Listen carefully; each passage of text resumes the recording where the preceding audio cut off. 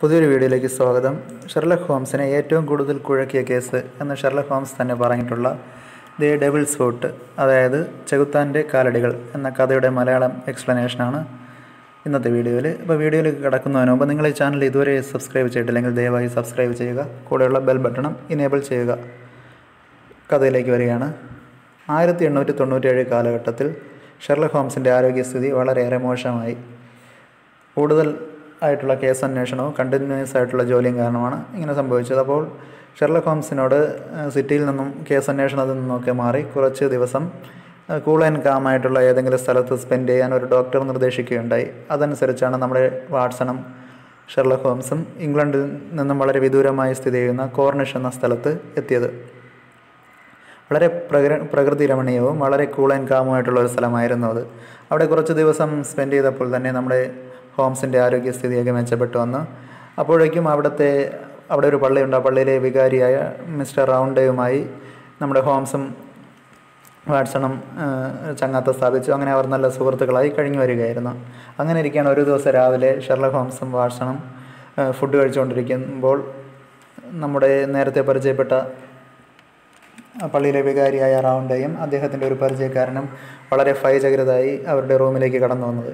ഇവരുടെ ഈ പെട്ടെന്നുള്ള വരവിലും മുഖത്ത് കണ്ട് നിഴച്ച ഭയത്തിലും എന്തോ ഇവർക്ക് അത്യാഹിതമായി എന്തോ പറ്റിയിട്ടുണ്ടെന്ന് ഹോംസിന് മനസ്സിലാവുകയും ആ കേസ് എക്സ്പ്ലെയിൻ ചെയ്യാൻ പറയുകയും ചെയ്തു. അപ്പോൾ നമ്മുടെ വന്നയാൾ സ്വയം പരിചയപ്പെടുത്തി അദ്ദേഹത്തിന്റെ പേര് മോർട്ടിമർ എന്നായിരുന്നു അദ്ദേഹം കാര്യം പറയുകയാണ്. അതായത് ഇദ്ദേഹത്തിന്റെ രണ്ട് സഹോദരൻ രണ്ട് സഹോദരങ്ങളും ഒരു സഹോദരിയുമുണ്ട്.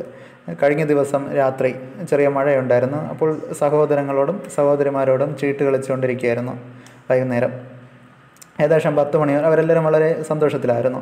ഏകദേശം പത്ത് മണിയോളം ചീട്ട് കളിച്ചു. അതിനുശേഷം ഇദ്ദേഹം ഇദ്ദേഹത്തിന്റെ വീട്ടിലേക്ക് പുറപ്പെട്ടു. അപ്പോഴും ബാക്കിയുള്ളവരെല്ലാവരും അവിടെ ചീട്ട് കളിച്ചുകൊണ്ട് തന്നെ ഇരിക്കുകയായിരുന്നു. എന്നാൽ ഇന്ന് രാവിലെ കാണാൻ കഴിഞ്ഞത് സഹോദരി ബ്രാൻഡ എന്തോ കണ്ട് പേടിച്ച് ഭയന്ന് മരിച്ച നിലയിലും സഹോദരന്മാർ രണ്ടുപേരും ചിത്തഭ്രമം ബാധിച്ച് മനസ്സിന്റെ ഇത് മാനസിക നിലയൊക്കെ തെറ്റി വായിൽ തോന്നിയൊക്കെ വിളിച്ച് വിളിച്ചു പറഞ്ഞുകൊണ്ടിരിക്കുന്നതാണ്. അപ്പോൾ വീട്ടിനകത്ത് ആരും കടന്നതിന്റെ ഒരു ലക്ഷണവുമില്ല ഒരു സാധനങ്ങളും മോഷ്ടിക്കപ്പെട്ടിട്ടില്ല. അവർ ഇരുന്ന് ഇരുപ്പിൽ നിന്ന് എണീറ്റിട്ടൊന്നുമില്ല. ഇന്നലെ രാത്രി ഇദ്ദേഹം പോയപ്പോൾ എങ്ങനെയായോ എങ്ങനെയാണോ ഉണ്ടായിരുന്നത് അതേ അവസ്ഥയിൽ തന്നെയാണ് അവരെല്ലാം ഇരിക്കുന്നതും. പക്ഷേ എങ്ങനെയാണ് മരിച്ചതെന്ന് ഒരു എത്തും പിടിയും കിട്ടുന്നില്ല. ഇങ്ങനെയുടെ അഭിപ്രായ പ്രകാരം ഏതോ ഒരു ദുർഭൂതം അകത്തേക്ക് കടന്നു വന്ന് ഇവരെല്ലാവരും പേടിപ്പിക്കുകയും പേടിച്ച് ബ്രാൻഡ് മരിക്കുകയും മറ്റു രണ്ടുപേർക്ക് ചിത്തഭ്രമം ബാധിക്കുകയും ചെയ്തു എന്ന് പറയുന്നുണ്ട്. ഹോംസ് ഇതെല്ലാം കേട്ട് കുറച്ച് നേരം ഏകാഗ്രനായിരുന്ന ശേഷം ചോദിക്കുകയാണ് നിങ്ങൾ മാത്രം എന്തുകൊണ്ടാണ് മാറി താമസിക്കുന്നത്? ബാക്കിയുള്ള മൂന്ന് സഹോദരങ്ങൾ ഒരുമിച്ച് താമസിക്കുമ്പോൾ നിങ്ങൾ മാത്രം എന്ത് മാറി താമസിക്കുന്നു എന്ന് ചോദിക്കുന്നു അപ്പോൾ അദ്ദേഹം പറയുകയാണ് ഈ ഈ ഫാമിലിക്ക് ഇവരുടെ ഈ ഫാമിലിക്ക് തകര ഖനനമായിരുന്നു ജോലി. അങ്ങനെ ഇവർക്കൊരു ഖനി ഉണ്ടായിരുന്നു. വർഷങ്ങൾക്ക് മുമ്പ് വലിയൊരു കമ്പനിക്ക് ഇവരുടെ ഖനി വിറ്റു. അപ്പോൾ ഒരുപാട് പൈസ കിട്ടി. വർഷം ആയുസ് ഫുള്ള് സൂക്ഷിച്ച് ജീവിക്കാനുള്ള പൈസ കിട്ടി. അപ്പോൾ അത് ഷെയർ ചെയ്ത് എടുക്കുന്നതിൽ ചെറിയ അഭിപ്രായ വ്യത്യാസമുണ്ടായി. അങ്ങനെ ഇവരുടെ സഹോദരങ്ങളും ഇയാളും തമ്മിൽ ചെറുതായിട്ട് തെറ്റി പിരിഞ്ഞു പിന്നെ വീണ്ടും പഴയ പിണക്കമെല്ലാം മാറി. ഷെയറൊക്കെ നേരെ ആക്കിയതിനു ശേഷം ഇപ്പോൾ ഇവർ ഒരുമിച്ച് കഴിഞ്ഞ് വരികയാണ് എന്നാണ് പറഞ്ഞത്. അതിനുശേഷം ഹോംസ് ഒരു ചോദ്യം കൂടെ ചോദിക്കുന്നുണ്ട്. ഇന്നലെ രാത്രി നിങ്ങൾ പോകുന്നതിന് മുമ്പ് ഈ അപകടത്തിന്റെ എന്തെങ്കിലും സൂചന വല്ലാം ലഭിച്ചായിരുന്നോ എന്നൊക്കെ ചോദിക്കുന്നുണ്ട്. അപ്പോൾ ആദ്യം അദ്ദേഹം ഒന്നുമില്ലെന്ന് പറയും എന്നെ കുറച്ച് നേരം ആര- ആലോചിച്ചതിന് ശേഷം പറയുന്നുണ്ട്. ഏകദേശം ഒമ്പത് മണിയായപ്പോൾ പുറത്തുനിന്ന് ചെറിയ മഴയുണ്ടായിരുന്നു. അപ്പോൾ ജനലിലൂടെ എന്തോ ഒരു ഇരുണ്ട രൂപം കുറ്റിക്കാടിലൂടെ മറയുന്നതായിട്ട് കണ്ടു. ഇദ്ദേഹവും കണ്ടു. ഇദ്ദേഹത്തിന്റെ സഹോദരൻ ജോണും കണ്ടു എന്നാണ് പറയുന്നത്. അപ്പോൾ ഹോംസ് ചോദിക്കുന്നുണ്ട് അതിനെപ്പറ്റി പിന്നീട് അന്വേഷിച്ചില്ലേ എന്ന് ചോദിക്കുമ്പോൾ അത് വലിയൊരു അപ്രധാനമായിട്ടുള്ളൊരു സംഗതി ആയതുകൊണ്ട് അതിനെപ്പറ്റി കൂടുതലൊന്നും അന്വേഷിച്ചില്ല എന്ന് പറയുന്നുണ്ട്. പിന്നെ അദ്ദേഹം ഒരു കാര്യം കൂടെ പറയുന്നുണ്ട്. ഇന്ന് രാവിലെ ഡോക്ടർ ഇവരുടെ ഈ അത്യാഹിതം നടന്ന വീട്ടിലേക്ക് എത്തി മരിച്ച ബ്രാൻഡെ പരിശോധിക്കുമ്പോൾ ഡോക്ടർ പറഞ്ഞത് ഏകദേശം ആറ് മണിക്കൂറോളമായി അവൾ മരിച്ചു എന്ന് പറഞ്ഞായിരുന്നു. അതിനുശേഷം ഈ ഡോക്ടറും ബോധം കെട്ട് സൈഡിലേക്ക് വീഴാൻ പോയി. അപ്പോൾ ഇദ്ദേഹം തന്നെ അതായത് മോർട്ടിമർ തന്നെയാണ് ആ ഡോക്ടറെ പിടിച്ച് കസേരയിൽ ഇരുത്തിയതും എന്നും പറയുന്നുണ്ട്. ഇത്രയും കേട്ടോടെ നമ്മുടെ ഹോംസ് ചാടി എണീറ്റിട്ട് പറയുകയാണ് എത്രയും പെട്ടെന്ന് നമുക്ക് അവിടേക്ക് പോകണം തെളിവുകൾ കളക്ട് ചെയ്യണമെന്ന് പറയുന്നുണ്ട്. അങ്ങനെ വന്ന പള്ളിയിലെ വികാരിയിലെ വികാരിയോടും പിന്നെ മോർട്ടിമറോടും കൂടി വാട്സണും ഹോംസും അത്യാവശ്യം നടന്ന് വീട്ടിലേക്ക് പോവുകയാണ്. പോകുന്ന വഴിയിൽ ഇദ്ദേഹത്തിന്റെ സഹോദരനായ ജോൺ ചിത്തഫ്രം ബാധിച്ച ജോണ് പിന്നെ മറ്റൊരു സഹോദരൻ ഓവൻ എന്നിവരെ രണ്ടുപേരെയും ആശുപത്രിയിലേക്ക് ആംബുലൻസിൽ കൊണ്ടുപോകുന്നത് കണ്ടു. ഇത് കണ്ടുകൊണ്ട് നമ്മുടെ മോർട്ടിമർ വളരെ വിഷമത്തോടെ എന്റെ സഹോദരങ്ങൾക്ക് നിങ്ങൾ ഈ ഗതി വന്നല്ലോ നിങ്ങൾക്ക് ഈ ഗതി വന്നല്ലോ എന്ന് വിലപിക്കുകയാണ് കണ്ടത് പിന്നെ അതിനുശേഷം ഹോംസ് അവരുടെ ആ റൂമിലേക്കൊക്കെ എത്തി. അവിടെ അദ്ദേഹം ഒബ്സർവ് ചെയ്യുകയാണ്. പുറത്തെ ജനലിന്റെ സ്ഥാനവും മറ്റൊക്കെ നോക്കി. പിന്നെ വീട്ടിനകത്തേക്ക് വന്ന് നോക്കിയപ്പോൾ അവിടെ എല്ലാം പഴയതുപോലെ തന്നെ ഉണ്ടായിരുന്നു. കസാരകളൊന്നും മാറ്റിയിട്ടില്ലായിരുന്നു. പുറത്തു നിന്ന് യാതൊരു ആക്രമണമൊന്നും കണ്ടില്ല. പിന്നെ ആ വിൻഡോയിലൂടെ പുറത്തേക്ക് ആ കുറ്റിക്കാളിലൊക്കെ നോക്കിയിട്ടുണ്ട്. നോ അദ്ദേഹം നോക്കിയിട്ടുണ്ട്. അതിനുശേഷം അവിടെ ഉണ്ടായിരുന്ന പരിചാരകയെ വീട്ടിലേക്ക് പരിചാരകയെ അവിടേക്ക് കൊണ്ടുവന്ന് ചോദ്യം ചെയ്യുകയായിരുന്നു. അപ്പോൾ പരിചാ പരിചാരക വളരെ പേടിച്ച് ഇരിക്കുകയായിരുന്നു. നമ്മുടെ മോർട്ടിമർ പറഞ്ഞ അതുപോലെ തന്നെയാണ് പരിചാരക പറഞ്ഞത്. അതായത് ഒമ്പത് മണിയായപ്പോഴേക്കും പരിചാരക റൂമിലേക്ക് വന്നു. അപ്പോൾ എല്ലാവരും അവിടെ നല്ല സന്തോഷത്തോടെ ചീട്ട് കളിക്കുകയായിരുന്നു. രണ്ട് സഹോദരന്മാരും പിന്നെ സഹോദരിയും പിന്നെ നമ്മുടെ ഈ മോർട്ടിമറും. അതിനുശേഷം ഇവർ നേരിപ്പാട് ഉണ്ടായിരുന്ന തീയൊക്കെ നേരെയാക്കി വെച്ചു എന്ന് പറയുന്നുണ്ട്. അപ്പോൾ ഹോംസ് ഇടയ്ക്ക് കയറി ചോദിക്കുകയാണ് ഈ വസന്തകാലത്ത് എന്തിനാണ് നേരിപ്പാട് കത്തിച്ചതെന്ന് നോക്കുമ്പോൾ ഉടനെ നമ്മുടെ മോർട്ടിമർ ഇടയ്ക്ക് കയറി പറയുന്നുണ്ട് വസന്തകാലമായിരുന്നുവെങ്കിലും നമ്മുടെ റൂമിനകത്ത് ചെറിയ ഈർപ്പമുണ്ടായിരുന്നു. അതുകൊണ്ടാണ് ഞാൻ തന്നെയാണ് കത്തിച്ചു വെച്ചതെന്ന് പറയുന്നുണ്ട്. അപ്പോൾ നമ്മുടെ ഈ പരിചാരക ഉറങ്ങാൻ പോകുന്നതിന് മുമ്പ് അതൊക്കെ ഒന്ന് ശരിയാക്കി വെച്ചു എന്നാണ് പറയുന്നത്. അതിനുശേഷം പരിചാരക ഉറങ്ങാൻ പോവുകയും ശേഷം പത്ത് മണിയോടെ നമ്മുടെ മോർട്ടിമർ തിരിച്ചയാളുടെ വീട്ടിലേക്ക് പോയെന്നാണ് പറയുന്നത്. അപ്പോഴേക്കും അവരെല്ലാം നല്ല സന്തോഷത്തിലായിരുന്നു. പിറ്റേന്ന് രാവിലെയും അതേ അവസ്ഥയിൽ തന്നെയായിരുന്നു. പിന്നെ രാവിലെ പരിചാരക വന്ന് നോക്കാൻ വന്നപ്പോഴും കാണാൻ കഴിഞ്ഞത് സഹോദരന്മാർ രണ്ടും ചിത്തഭ്രമം ബാധിച്ച് വായിൽ തോന്നിയൊക്കെ വിളിച്ചു പറഞ്ഞുകൊണ്ടിരിക്കുന്നതും സഹോദരി ബ്രാൻഡ മരിച്ച് കസേരയിൽ തന്നെ സൈഡിലേക്ക് തലകായ്ച്ച് ഇരിക്കുന്നതുമായിട്ടാണ് കണ്ടത്. അപ്പോൾ ഹോംസ് പറയാണ് ഇന്നത്തെ അന്വേഷണം മതി. ഇവിടെ നിന്ന് കൂടുതൽ തെളിവൊന്നും കിട്ടില്ല എന്ന് പറഞ്ഞ് അദ്ദേഹം പോവുകയാണ് ചെയ്യുന്നത്. പിന്നെ ഹോട്ട്സ് ഹോംസ് വാട്സണും ഒരു നദിക്കരയിൽ ചെന്നിരുന്ന കേസിനെ പറ്റി ഡിസ്കസ് ചെയ്യാൻ ചെയ്യുകയാണ് ചെയ്യുന്നത്. അതായത് ഹോംസ് പറയുന്നത് അവിടെ നിന്ന് ഒബ്സർവ് ചെയ്തപ്പോൾ പുറത്തു നിന്നും ആരും അകത്തേക്ക് വരാൻ യാതൊരു വഴിയുമില്ല. അപ്പോൾ ഏതോ ഒരു ദുർഭൂതം വന്നു എന്നാണ് പറയുന്നത്. അപ്പോൾ അവരുടെ ആ മരിച്ചിരുന്ന ആ ഒരവസ്ഥയിൽ നിന്നും എന്തോ കണ്ട് ഭയന്ന് മരിക്കാനാണ് സാധ്യത. പിന്നെ ഒരു രണ്ട് കാര്യം കൂടെ പറയുന്നത്. മോർട്ടിമർ അവിടെ നിന്ന് പത്ത് മണിയോടെ തിരിച്ച് അദ്ദേഹത്തിന്റെ വീട്ടിലേക്ക് പോയി. അപ്പോൾ മോർട്ടിമർ പോയ ഉടനെ തന്നെ ആയിരിക്കണം ഇവർ മരണപ്പെട്ടത്. കാരണം അധികം താമസിച്ചിരുന്നുവെങ്കിൽ ഇവർ എണീറ്റ് ഉറങ്ങാൻ പോകുമായിരുന്നു. പക്ഷേ ഇവർ ഉറങ്ങാനൊന്നും പോയിട്ടില്ല. അതേ അതേ ഇരിപ്പിൽ തന്നെയാണ്. അപ്പോൾ മോർട്ടിമർ പോയ ഉടനെ അല്ലെങ്കിൽ അരമണിക്കൂറിനകത്ത് തന്നെയായിരിക്കണം ഇവർ മരണപ്പെട്ടത്. പിന്നെ പുറത്തു നിന്ന് ആരും വരാനും വഴിയില്ല. പുറത്തു നിന്ന് ആരെങ്കിലും വന്നിരുന്നുവെങ്കിൽ ഇദ്ദേഹം ഇവർക്ക് എണീറ്റ് ഇവരൊക്കെ എണീറ്റ് കസേരകളൊക്കെ മാറ്റിയിട്ടായിരുന്നു. അങ്ങനെ മാറ്റിയിട്ടേനെ. പക്ഷേ അങ്ങനെയൊന്നും ഉണ്ടായില്ല. അവർ ഇരുന്ന ഇരിപ്പിൽ തന്നെയാണ് മരിച്ചത്. അപ്പോൾ മോർട്ടിമർ പോയ ഉടനെ തന്നെ ആയിരിക്കണം എന്ന് പറയുന്നുണ്ട്. അപ്പോഴേക്കും ഇവിടെ മറ്റൊരു വ്യക്തി കടന്നു വരുന്നുണ്ട്. അദ്ദേഹം സ്വയം പരിചയപ്പെടുത്തുന്നത് ഡോക്ടർ ലിയോൺ സ്റ്റാൻഡേൽ എന്നാണ്. ഡോക്ടർ ലിയോൺ പറയുകയാണ് ഞാൻ വന്നതിന് കാരണം ഈ കേസിന്റെ അന്വേഷണം ഏത് വഴിക്കാണ് പോകുന്നതെന്ന് അറിയാൻ വേണ്ടിയാണ്. കാരണം ഈ അത്യാഹിതം നടന്ന കുടുംബം എന്റെ അമ്മയുടെ സഹോദരന്റെ മക്കളാണ്. എന്ന് പറയുന്നുണ്ട്. എനിക്ക് വേണ്ട വളരെ വേണ്ടപ്പെട്ട മക്കളാണെന്നോ വേണ്ടപ്പെട്ടവരാണെന്ന് പറയുന്നുണ്ട്. അപ്പോൾ ഹോംസ് ചോദിക്കുന്നുണ്ട് നിങ്ങൾ എങ്ങനെയാണ് ഈ വിവരം അറിഞ്ഞതെന്ന് അപ്പോൾ പറയുന്നുണ്ട് ഞാൻ ഇന്ന് ആഫ്രിക്കയിലേക്ക് പോകാനിരിക്കുകയായിരുന്നു പ്ലിമത്ത് പ്ലിമത്ത് ഹോട്ടലിൽ ഞാൻ തങ്ങിയിരുന്നു. ഇന്ന് രാവിലെ കപ്പൽ പുറപ്പെടാൻ ഏതാനും മണിക്കൂറുകൾ ബാക്കി നിൽക്കെ ഇതിനെപ്പറ്റി ഞാൻ അറിഞ്ഞു എന്ന് പറയുന്നു. അങ്ങനെ ഞാൻ ഉടനെ കപ്പൽ യാത്ര മാറ്റി വെച്ച് ഇങ്ങോട്ട് വന്നതെന്ന് പറയുന്നുണ്ട്. അപ്പോൾ ഹോംസ് വീണ്ടും ചോദിക്കുന്നുണ്ട് നിങ്ങൾ എങ്ങനെയാണ് അറിഞ്ഞതെന്ന്? അപ്പോൾ പറയുന്നത് പള്ളിയിലെ വികാരി എന്റെ വേണ്ടപ്പെട്ട ഒരു സുഹൃത്താണ്. അദ്ദേഹം എനിക്ക് കമ്പി അടിച്ചു അതായത് ടെലിഗ്രാം അയച്ചു. അത് പ്രകാരമാണ് ഞാൻ അറിഞ്ഞതെന്ന് പറയുന്നുണ്ട്. അപ്പോൾ വീണ്ടും ചോദിക്കുന്നുണ്ട് അത് അറിഞ്ഞ ഉടനെ നിങ്ങളുടെ യാത്ര ക്യാൻസൽ ചെയ്ത് നിങ്ങൾ വന്നോ എന്ന് ചോദിക്കുന്നുണ്ട്. അപ്പോൾ അദ്ദേഹം പറയുന്നുണ്ട് ആ വന്നായിരുന്നു. കാരണം ഞാൻ പറഞ്ഞല്ലോ എനിക്കിത് എന്റെ വേണ്ടപ്പെട്ട കുടുംബമാണ് എന്റെ റിലേറ്റീവ്സ് എന്നൊക്കെ എന്ന് പറയുന്നുണ്ട്. എന്നിട്ട് വീണ്ടും അദ്ദേഹം ചോദിക്കുന്നുണ്ട് കേസിന്റെ അന്വേഷണം ഏത് വഴിക്കാണെന്ന് എന്നോട് പറയാമെന്ന് ചോദിക്കുന്നുണ്ട്. അപ്പോൾ നമ്മുടെ ഹോംസ് പറയുന്നുണ്ട് അതൊന്നും പറയാൻ പറ്റത്തില്ല എന്ന് പറയുകയാണ് ചെയ്യുന്നത്. അപ്പോൾ അല്പം നീരസം കലർന്ന ഒരു സ്വരത്തോടെ വന്ന വ്യക്തി ഡോക്ടർ ലിയോൺ അവിടെ നിന്നും പോവുകയാണ് ചെയ്യുന്നത്. അദ്ദേഹം പോയ ഉടനെ തന്നെ ഹോംസ് അദ്ദേഹത്തെ പിന്തുടർന്നും പോകുന്നുണ്ട്. പിന്നെ വൈകുന്നേരം വളരെ വിഷമത്തോടെ ഹോംസ് വീട്ടിലേക്ക് വന്ന് കയറി. അതിനുശേഷം വാട്സണോട് പറയുകയാണ് അന്ന് കേസിൽ വലിയ പുരോഗതി ഒന്നും ഉണ്ടായിട്ടില്ല. ഞാൻ നേരെ നമ്മുടെ ഈ ലിയോണിനെ പിന്തുടർന്നു. അദ്ദേഹം നേരെ അദ്ദേഹത്തിന്റെ വീട്ടിലേക്കാണ് പോയത്. അതായത് വികാരിയെ ചെന്ന് വികാരിയുടെ പള്ളിയിലേക്ക് പോയിട്ടും വികാരിയെ കാണാതെ പിന്നെ അദ്ദേഹത്തിന്റെ വീട്ടിലേക്കാണ് പോയത്. പിന്നെ ഞാൻ പ്ലിമത്ത് ഹോട്ടലിൽ പോയി അന്വേഷിച്ചായിരുന്നു.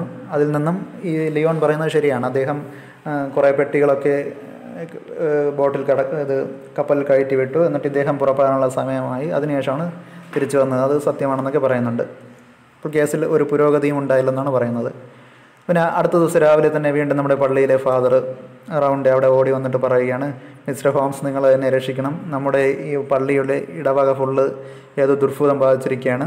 മോർട്ടിമറും ഇന്ന് രാവിലെ മരണപ്പെട്ടു. മറ്റ് അവർ അദ്ദേഹത്തിന്റെ സഹോദരന്മാർ മരണപ്പെട്ട അതേ അവസ്ഥയിൽ തന്നെ ഇന്ന് രാവിലെ മോർട്ടിമറും മരണപ്പെട്ട് കിടക്കുന്നതായിട്ട് പറയുന്നു. അപ്പോൾ ഹോംസ് വളരെ പെട്ടെന്ന് ഡ്രസ് ചെയ്ത് വാട്സൺ കുട്ടി അത്യാഹിതം നടന്ന മോർട്ടിമറുടെ വീട്ടിലേക്ക് പോവുകയാണ്. പോയി നോക്കിയപ്പോൾ മോർട്ടിമർ കസേരയിലിരിക്കുകയാണ് കണ്ടത്. ഇരി ഇരിക്കുന്ന അതേ ഇരിപ്പിൽ തന്നെ എന്തോ കണ്ട് ഫയന്ന് പേടിച്ച് മരിക്കുകയാണ് ചെയ്തത്. പിന്നെ അദ്ദേഹം കിട അദ്ദേഹത്തിന്റെ കിടപ്പ് മുറിയിലേക്ക് പോയി ഹോംസ് ഒബ്സർവ് ചെയ്യുന്നുണ്ട്.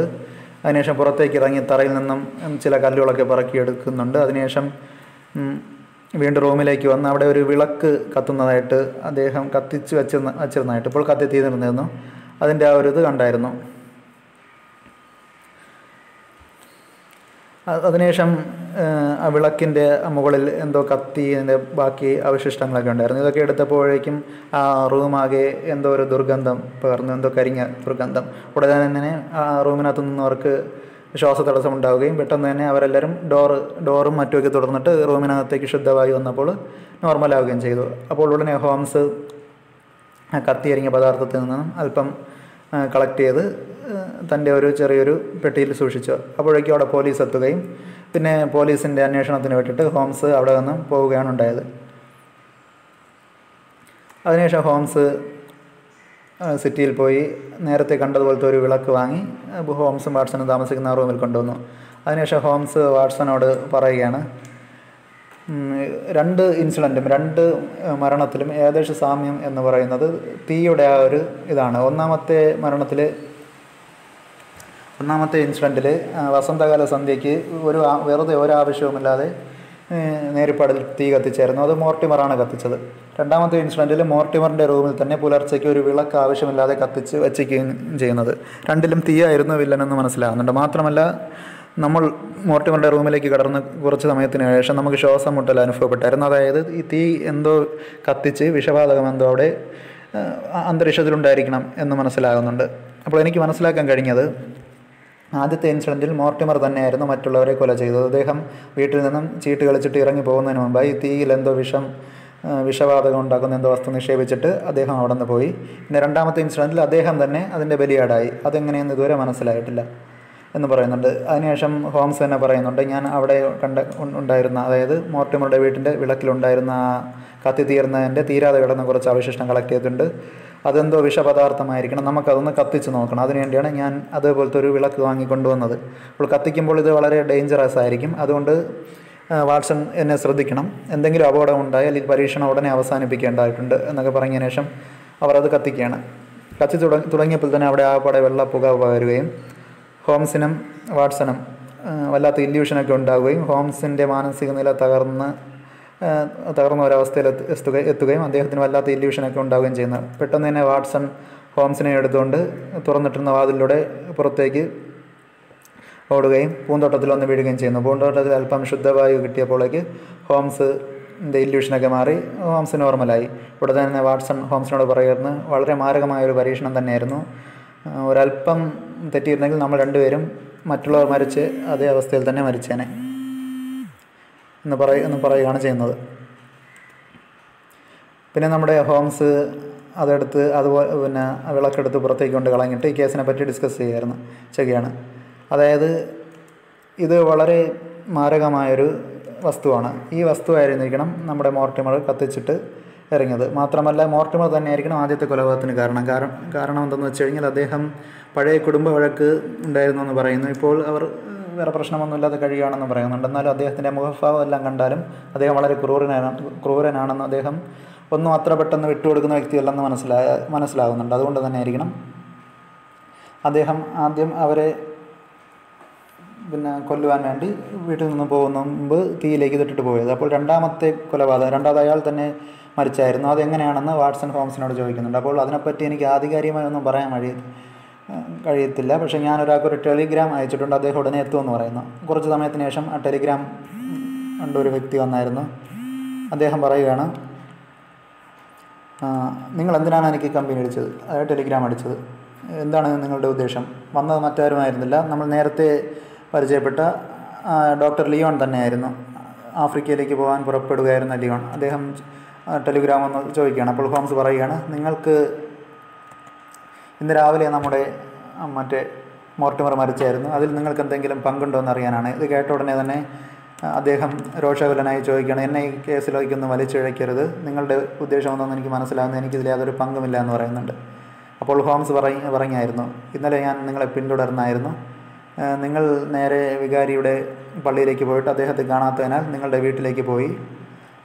പിന്നെ ഞാൻ പ്ലിമത്ത് ഹോട്ടലിൽ പോയി അന്വേഷിച്ച് അപ്പോൾ നിങ്ങൾ പറഞ്ഞ നിങ്ങളുടെ ആഫ്രിക്ക യാത്രയൊക്കെ സത്യമാണെന്ന് മനസ്സിലായി. പക്ഷേ ഇന്ന് രാവിലെ നിങ്ങൾ ഉണർന്നതിന് ശേഷം നിങ്ങളുടെ വീട്ടിൽ നിന്നും ചുവന്ന കല്ലുകൾ പറക്കിയെടുത്ത് നേരെ നമ്മുടെ മോർട്ടിമറിന്റെ റൂമിലേക്ക് പോവുകയും അത് രാവിലെ ആയിരുന്നാൽ മോർട്ടിമർ ഉറക്കമായിരുന്നാൽ ഉറക്കമായിരിക്കുകയും നിങ്ങൾ ജനലിൽ ആ കല്ലുകളിൽ എറിയുകയും ആ കല്ലുകൾ ഇറങ്ങിയതിന്റെ ഫലമായി മോർട്ടിമർ ഉണർന്ന് ജനലിന്റെ അവിടേക്ക് വരികയും അപ്പോൾ നിങ്ങൾ വാതിൽ തുറക്കാൻ ആവശ്യപ്പെടുകയും അതിനുശേഷം വാതിൽ തുറന്ന് നിങ്ങൾ എന്തൊക്കെയോ സംസാരിക്കുകയും സംസാരിച്ചതൊന്നും എനിക്കറിയത്തില്ല. പക്ഷേ അവിടെ എന്തോ നിങ്ങൾ സംസാരിച്ചു. അതിനുശേഷം നിങ്ങൾ പുറത്തേക്ക് വരികയും കുറച്ച് നേരം അവിടെ നിന്നതിന് ശേഷം തിരിച്ചു പോവുകയും ചെയ്തു എന്നെനിക്ക് മനസ്സിലാകുന്നുണ്ട്. അപ്പോൾ ഇത് ഹോംസ് പറഞ്ഞതായിട്ട് നമ്മുടെ ആഗതൻ അതായത് ഡോക്ടർ ലിയോൺ അത്ഭുതപ്പെടുകയാണ് ചെയ്യുന്നത് എന്നിട്ട് ചോദിക്കുന്നുണ്ട് നിങ്ങളൊരു മാന്ത്രികൻ തന്നെ നിങ്ങൾ ഇതൊക്കെ എങ്ങനെ മനസ്സിലാക്കിയെന്ന് ചോദിക്കുന്നുണ്ട്? അപ്പോൾ നമ്മുടെ ഹോംസ് പറയുന്നുണ്ട് ഞാനൊരു ഡിറ്റക്റ്റീവാണ്. എന്റെ തൊഴിൽ ഇതാണ് മറ്റുള്ളവർക്ക് മനസ്സിലാക്കാൻ പറ്റാത്തത് മനസ്സിലാക്കുന്നതാണ് എന്റെ തൊഴിലെന്ന് പറയുന്നത്. അപ്പോൾ എന്നിട്ട് ഹോംസിനെ പറയുന്നുണ്ട് നിങ്ങൾ ബാക്കിയുള്ള സത്യം കൂടെ പറയുക.